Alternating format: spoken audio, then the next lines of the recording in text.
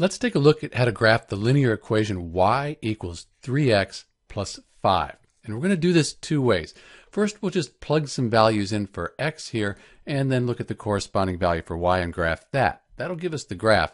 We'll also use the slope-intercept formula to check our work. So let's just start by putting some values in for x. I like to start out with 0 because that usually ends up fitting on my graph. So 3 times 0 plus 5, that's 0 plus 5, y would be 5. Then let's put 1 in. 3 times 1 is 3 plus 5. That'll give us 8 for y. And then let's try negative 1. So 3 times negative 1, that gives us negative 3 plus 5. That'll give us 2. So we have 0, 5, 1, 8, and negative 1, 2. Now we can graph these.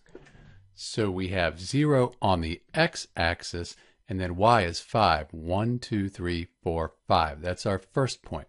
Then we have x is 1, y is 8. So we go x is 1 and we go up to y is 8. We could graph with two points. It's always a little bit nicer to have three in case you've made any errors. So we have x is negative 1, y is 2. So negative 1 up 2. And you can see we have these three points. And if we put a line through them like this, that's our graph. Let's put some arrows to show that this goes to infinity, and that's the graph for y equals 3x plus 5. We could also use the slope-intercept formula to figure this out as well.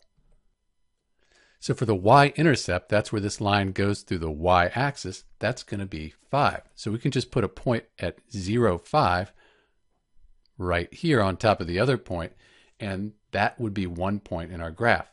For the slope, m, that's going to be 3. But we want to have this as a fraction. So instead of 3, let's just call it 3 over 1. That way we'll have rise over run. We can go to this original point, this y-intercept here, and we can go up 1, 2, 3, and then over 1. So I've run out of graph paper, so I'll do the reverse. I'll start out at this y-intercept, instead of going up 3, I'll go down 3. 1, 2, 3, and then I'll go the opposite direction here, over 1 to the left. And again, gives us this same point here, and this is the graph for y equals 3x plus b. And we could keep doing this. We could go down 1, 2, 3, and over 1, and that would keep giving us points, just like if we kept putting values in this table here, we could keep adding points to our graph. Both of these techniques work. They'll give you the same graph. It's good to do one and then check with the other. This is Dr. B graphing the equation y equals 3x plus 5. Thanks for watching.